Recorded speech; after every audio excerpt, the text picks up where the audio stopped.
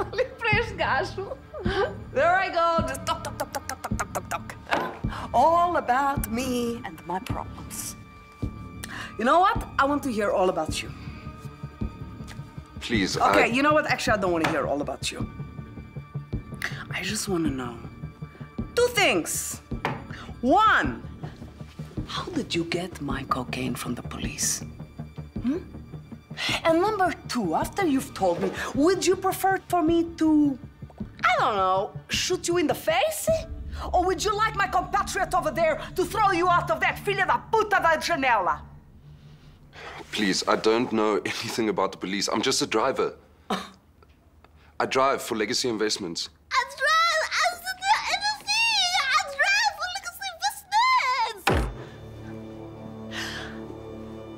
Something.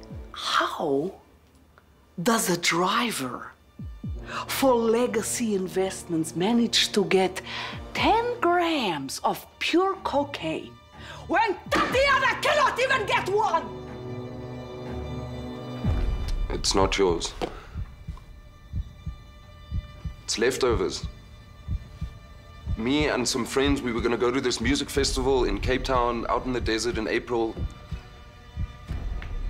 So we all put cash together and we, and, and we bought 30 grams. Oh.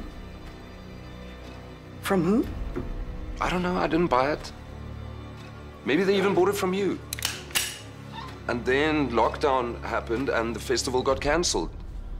So we thought, okay, fine, we'll keep it until next year. But then things got tight cash wise. It just got a bit tight, so we thought, why not sell what's left? I swear, I don't know anything about your two kilos or the police. I'm just a driver trying to make some extra money.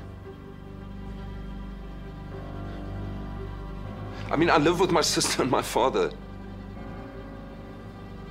Just tr- trying to make some extra money, I swear.